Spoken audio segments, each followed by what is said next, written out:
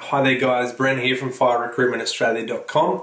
And today I just want to answer a question actually.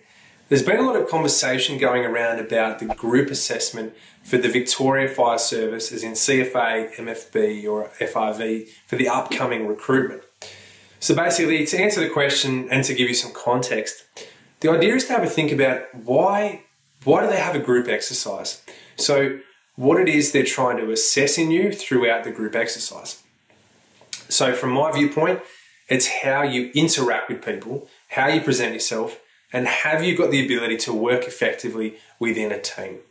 So, if I was going to the group assessment myself currently, I would make sure I had a really good introduction based on my previous life and work experience.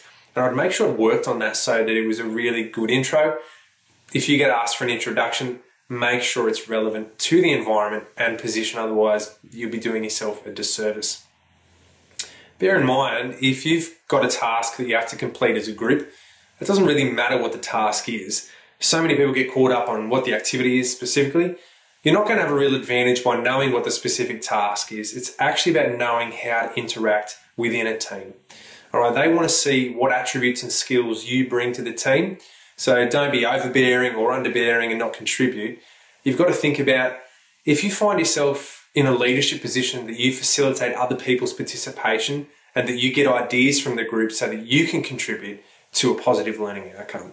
So the big ones are make sure that you're presented well, that you can interact well, and that you're prepared for the day. So that's just a bit of context on the group exercise or group assessment that Victoria is currently running.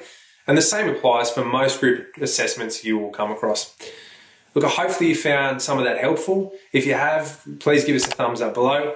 Don't forget to subscribe so you don't miss any updates. And if you have any questions, as always, you can contact me on the link below or visit firerecruitmentaustralia.com.